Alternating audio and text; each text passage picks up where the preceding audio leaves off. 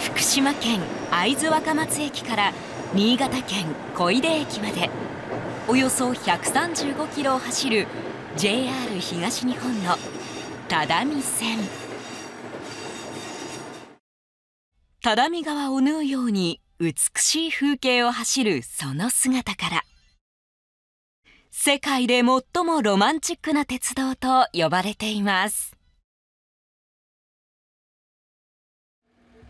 普段は学生と病院通いの高齢者ぐらいしか乗らない只見線はこの秋大いににぎわっています。とても景色が綺麗でよくて。にぎわっているのは紅葉のためばかりではありません。実は先月災害で長らく寸断されていた路線が11年ぶりに全線再開奇跡の復活と話題になっているのです。ところが住民は厳しい表情、うん、死の世界では増えるなと、ね、ほとんど来ないよ。これもう大変だよこれ。赤字路線で。うん。只見線は全国屈指の赤字路線でもあるのです。今珍しいから、えー、お客さん大勢来てますけどこの先来年再来年どうなるものか。存続への秘策はあるのでしょうか？奇跡の復活を遂げたローカル線の厳しい現実を追いました。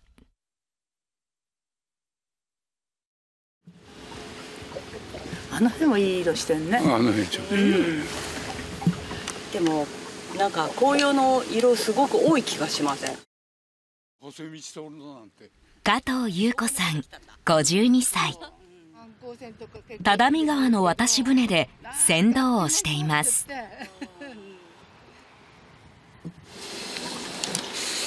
そろそろ来るか？あ来たよ。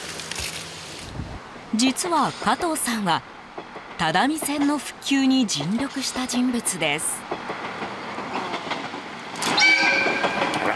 挨拶してくれた。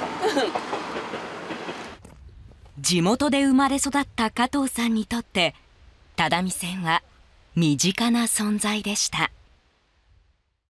昔これなかったのねこの橋。私が小さい頃は。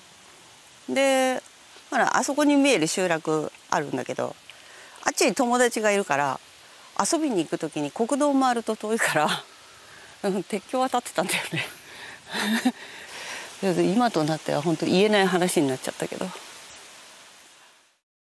その鉄橋は2011年7月に流されました。只見線は豪雨で甚大な被害を受けたのです。ここ落ちると思ってなかったから本当びっくりした。この影響で11年もの間およそ28キロの区間が運行できない状態に陥ったのです。当初復旧にかかる費用はおよそ85億円と試算されました。災害前年間20億円以上の営業赤字を出していた只見線には厳しい状況です。JR 東日本は普通区間を廃止してバスを走らせる提案もしましたが地元は全線再開にこだわり続けました。住民もその考えを後押ししました。はいどうも。ここは加藤さんがオープンした宿泊施設です。長野県からね掛川さん。こんにちは。こんにちは。茨城県から大藪さん。大藪です。よろしくお願いします。この宿に集まってくるのは鉄道ファン。加藤さんは彼らと只見線つなぎたいというグループを結成。全線再開を目指して只見線をアピールする活動を続けてきました。只見線をつなぎたい。また地域の人とね、まあ、我々のような外から来る人間をつなぎたいとかね。優子ちゃんがいなかったら多分ここまでまとまってないんじゃないかと思う。只見線の魅力を知る鉄道ファンが全線再開の大きな力になってくれたのです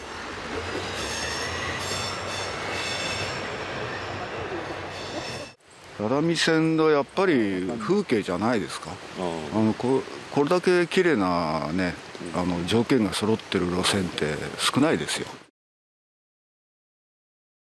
只見線は地域の貴重な財産。その思いが広がり5年前ついに復旧が決まったのです。およそ90億円となった復旧費用は福島県と市町村が3分の 2JR 東日本が3分の1を負担することになりました。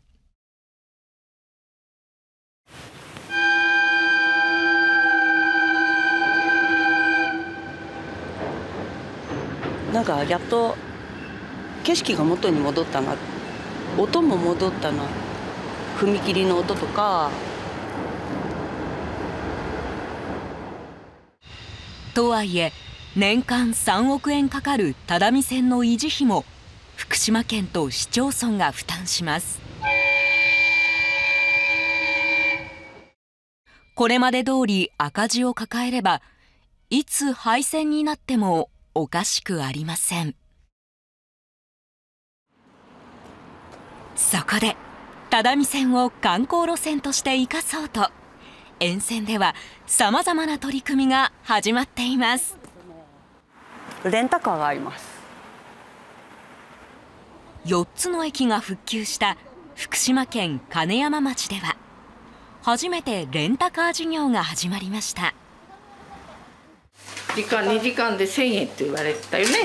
2時間で。1000円安いってそれも魅力だね。魅力だね。これなら数時間おきに走る只見線の待ち時間にも利用できます。すると加藤さんが観光客にアドバイス。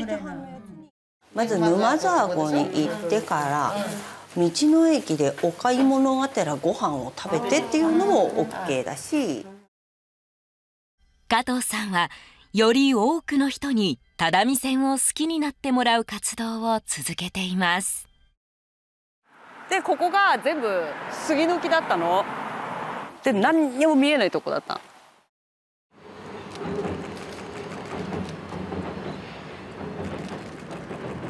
街に掛け合い只見線のベストショットを収められるスポットをいくつも整備してきました。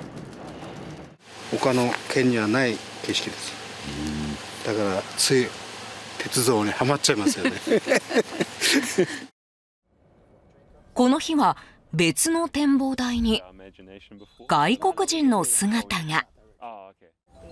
男性は東京に在住するイギリス人写真家だといいます。福島県の PR のためにあのこういうあの橋電車走ってる写真撮ってます。